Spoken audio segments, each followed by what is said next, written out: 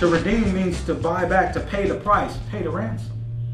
And that's what Christ did on the cross for you, my friend. He died to pay for your sins. And by faith, he'll give it to you freely. Look at verse 25.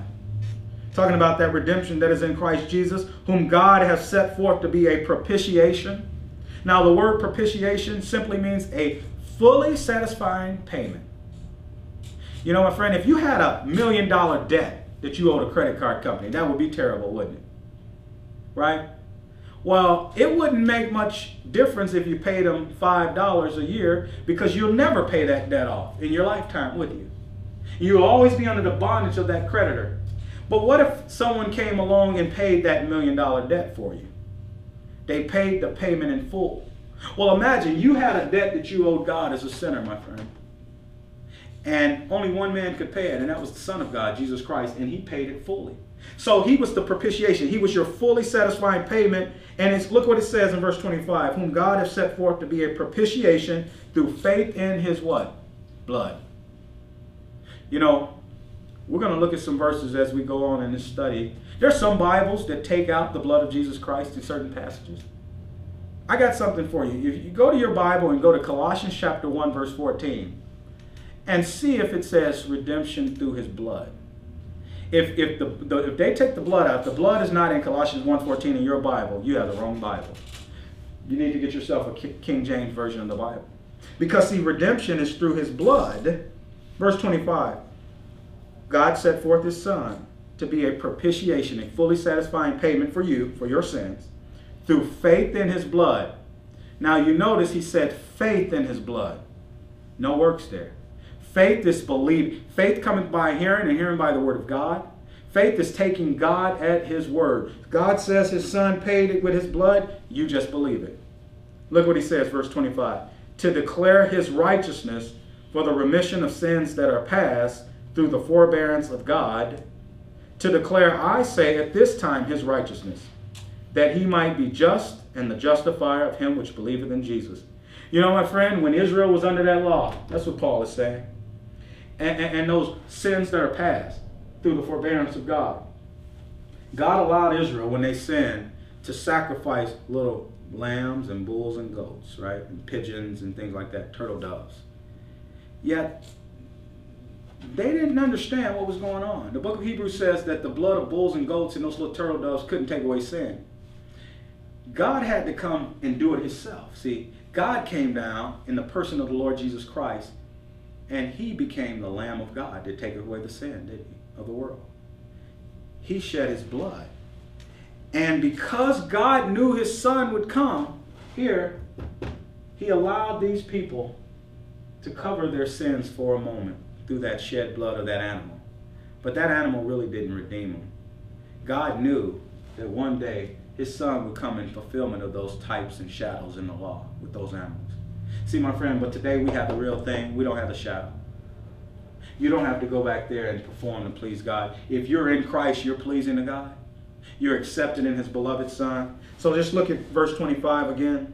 Verse 26. To declare, I say, at this time, see that? But now, the present time, his righteousness. You know, God declared his righteousness in his Son, Jesus Christ. God's righteousness is no longer found in the law of Moses. That's not how he declares his righteousness. It's now through Jesus Christ and what the Apostle Paul says in Romans through Philemon. If you're going to know Jesus Christ today, you're going to have to get to know him in Romans through Philemon. That's the message of Christ called the mystery. Look at this. Verse 28. Therefore we conclude that a man is justified by faith without the deeds of the law. You see that? A man is justified by faith without the deeds of the law. Go back to Romans chapter 4 and let's look go back to Romans 4 and look at verse 5. Go forward to Romans 4, verse 4 and 5. Romans chapter 4, verse 4.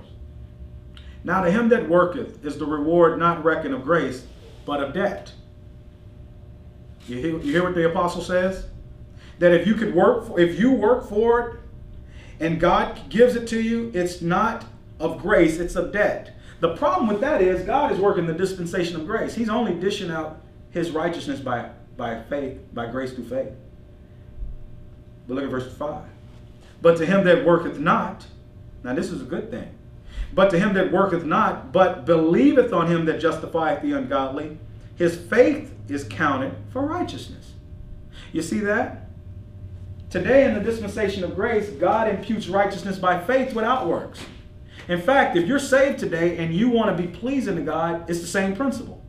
It's going to be you taking in the word of God's grace. Get this now, this will change your Christian life. As you therefore receive Jesus Christ, your, the Lord, by grace through faith plus nothing, that's how you're going to walk.